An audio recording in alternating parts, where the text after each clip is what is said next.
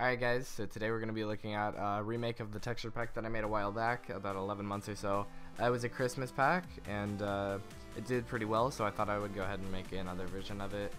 And uh, well, here it is. So I, I basically did the same thing as I did last time. I took a bunch of texture packs and I mashed them all together. And uh, here's the finished product of it. So let's uh, go ahead and go over here. Uh, we have Christmas chests right here.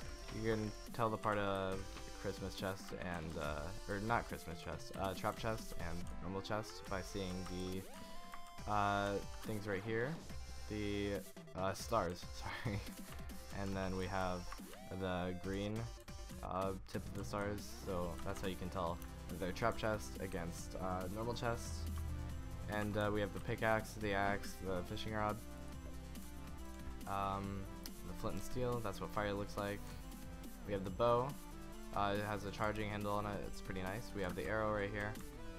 Looks pretty good. Uh, we have the gold sword, the iron sword, the wood sword, stone sword, and then the diamond sword. Uh, I did, oops, didn't mean to do that. I did change the sword. It's from an Ariana pack or something like that. And it was normally pink, and I changed it to green, and I also changed the heart. And then I changed that right there. Uh, as you can see the little square, I changed that to red. It used to be uh, pinkish, or I think something like that.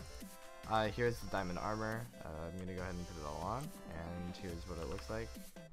All red and stuff like that. It's pretty nice.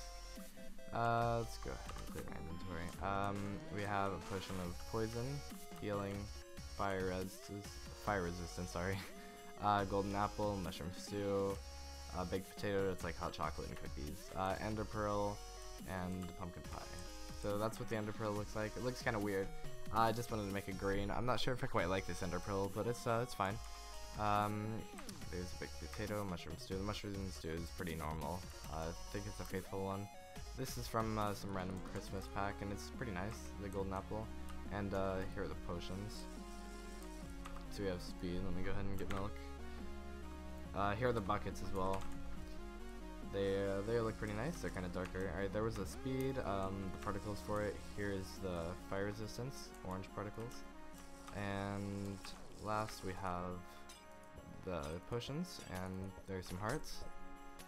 And then the same thing, triangles. Triangles, sorry. Alright, and then moving on to the ores, we have right here gold, iron, coal, lapis, diamond, redstone, emerald, and quartz. And on the back, then we have the. Uh, well, those are missing. Um, hang on. Alright, there we go. Um, we have everything now. So there's the lapis again, the emerald, redstone, diamond, lapis. Er, I meant quartz over there. Oops. Uh, coal, iron, and gold. And uh, these ores are really nice. Um, anyway, moving on to the wood, we have birch, jungle, oak, and spruce. And then um, they have Darkwood? Darkwood. Uh, I guess I've never put Darkwood here. That's Darkwood. Obviously, it's the darkest wood, I guess. There you go. And uh, there's a comparison. I don't know why these are here. Could have just made them under there. But anyway, uh, we're gonna go ahead and look at the particles on the crits and everything like that. So let's go ahead and spawn a villager in. Here's the normal particles. And here are the critical particles critical particles. okay. Uh, it's like Santa hats and everything. It looks pretty nice. They look kind of yellowish, but it's uh, still all good.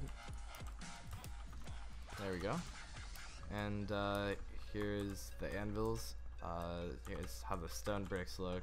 The redstone lamps, all the nether, the nether rack, the nether brick, the soul sand, and the glowstone. Um, and then if we want to go down here, or that's what the glass looks like. If we want to go down here, we have water, and then we have lava. You guys can definitely change this lava if you want to. It's not the nicest lava. You guys can change it. Um, here's the, what the fire looks like. We have low fire and everything. Uh, also, uh, the HUD, or not the HUD, uh, yeah, actually the HUD, um, and everything like that. The hotbar is what I meant to say. Uh, yeah, it's red and then has this green uh, um, scroller over it. And then uh, go ahead and show you guys the XP real quick. Uh, nope. Okay. Uh, no. Okay. Bottle. Guess you can't search for that in this update. But anyway, uh, there's the XP. It's like a candy cane, pretty much. It's uh, red and white. And uh, here's the inventory. Has my skin face right there. Um, and it's clear GUI. Everything else is a clear GUI as well. And uh, yeah, so that's pretty much it for this part, and I'm gonna go ahead and go into a fight and show you guys uh, that. So yeah, that's uh, pretty much it for this though. If you guys enjoyed, uh, the download links are in the description, and something that I do want to say real quick is that there is more to this than just this pack. There's also a, also a faithful pack right here. We'll go ahead and load this one in, and it's basically just the faithful blocks, and then the rest of the the same things that I showed you guys a second ago. So you guys, if you do want to run uh, at I think um, more FPS because that one is kind of a nicer pack. Uh, you guys can go ahead and use the faithful one, and you'll have all this stuff. Um, still a good pack and all, and it just has a faithful blocks. Some people enjoy like the default look of Minecraft instead of the like over um, customized blocks and everything like that. You guys can go ahead and use faithful if you want to, but the download link is in the description. And uh, peace out.